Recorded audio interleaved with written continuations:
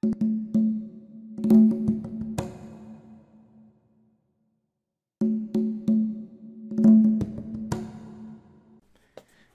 d'abord, quelle sera la tonalité du roman africain? Réaliste ou non réaliste? Cette tonalité dépendra essentiellement du tempérament de chaque auteur, de sa sensibilité à l'attitude du public.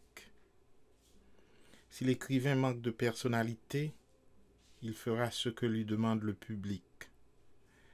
S'il a de la personnalité, il fera de la littérature selon son goût et ses propres conceptions.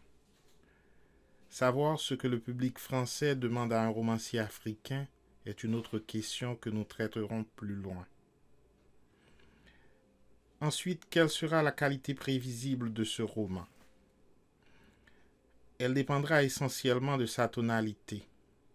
Étant donné les conceptions modernes du beau en littérature, étant donné tout au moins ce qu'ont ces conceptions d'essentiel, si une œuvre est réaliste, elle a de nombreuses chances d'être bonne. Sinon, en supposant même qu'elle comporte des qualités formelles, elle risque de manquer de résonance, de profondeur, de ce dont toute littérature a le plus grand besoin, l'humain. D'où il suit qu'elle a beaucoup moins de chances si seulement elle en a, d'être bonne qu'une œuvre réaliste. Ainsi que nous le disions à l'instant, ce qui distinguera donc les romanciers africains, c'est moins bien leurs origines ethniques que leurs différents tempéraments, leur personnalité.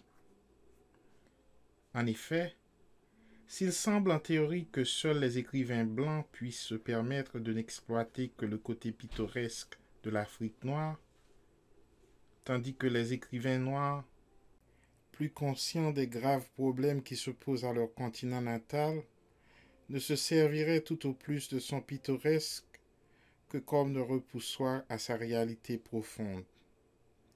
Il se révèle à l'examen du petit nombre d'auteurs écrivant sur l'Afrique les pittoresquistes se recrutent aussi bien chez les uns que chez les autres. Aux yeux du colon et du bourgeois français, qu'est-ce donc que l'Afrique? Une réserve inépuisable d'hommes et de matières premières. L'on connaît les slogans. L'Afrique noire, notre dernière chance. L'Afrique noire, voilà la carte à jouer. L'Euro-Afrique, etc., etc. Le bourgeois français pense donc surtout à l'Afrique noire comme une dernière chasse gardée qu'il convient de protéger jalousement contre la convoitise des impérialismes soi-disant révolutionnaires. Il va de soi que derrière toutes les belles formules libérales, généreuses, fraternelles et républicaines lancées à travers l'espace par la presse bourgeoise, se profile la même, la séculaire, l'intangible réalité, l'éternelle cupidité, exploiter l'homme où on le peut sans risque. Oui, sans risque. L'on devine dès lors qu'une littérature africaine réaliste ne peut être du goût de ces messieurs-dames, car est-il pire risque pour eux que de voir un jour leurs louches opérations dénoncées, démontées étalés sur des feuilles populaires. Ils tâcheront donc d'étouffer dans l'œuf toute littérature réaliste africaine. Car la réalité actuelle de l'Afrique noire, sa seule réalité profonde, c'est avant tout la colonisation et ses méfaits.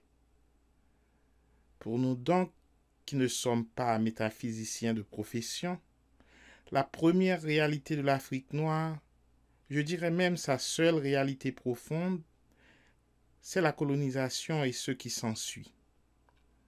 La colonisation qui imprègne aujourd'hui la moindre parcelle du corps africain, qui empoisonne tout son sang, renvoyant à l'arrière-plan tout ce qui est susceptible de s'opposer à son action.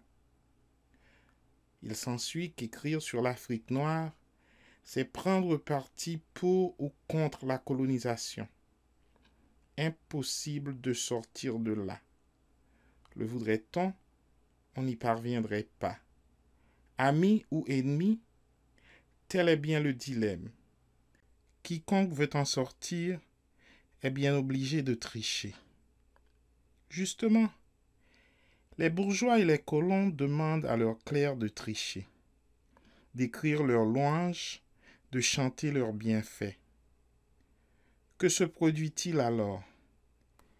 Si le clerc est un blanc, il n'aura aucune vergogne à écrire ces livres réactionnaires et racistes auxquels les vitrines de nos librairies nous ont habitués.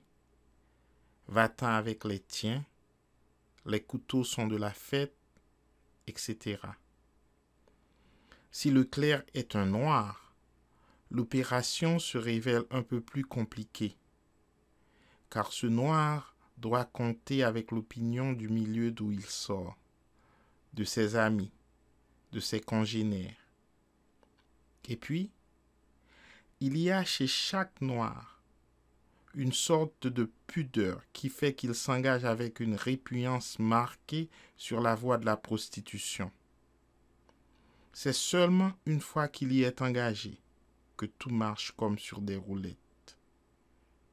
Enfin, sait-on jamais, il se pourrait qu'il survienne une petite révolution un jour dans son pays natal.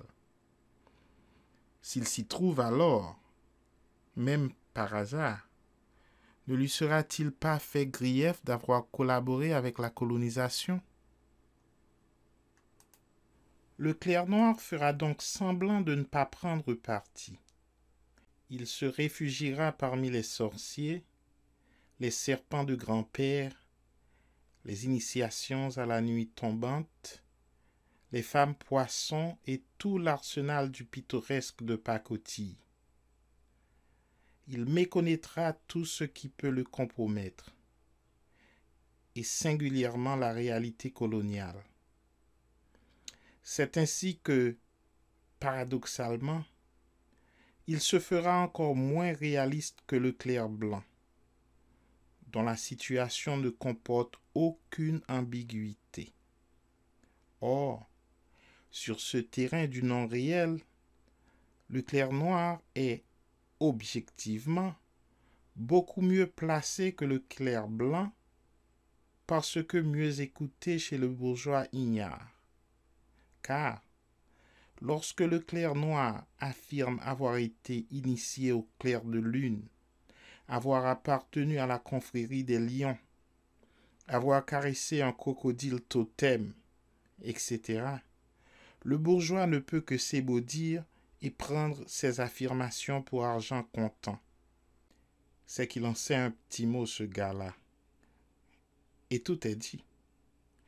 Tout cela concourt à enfoncer davantage le clair noir dans le bourbier du pittoresque, une vase dont il est difficile de sortir une fois qu'on s'y est embourbé.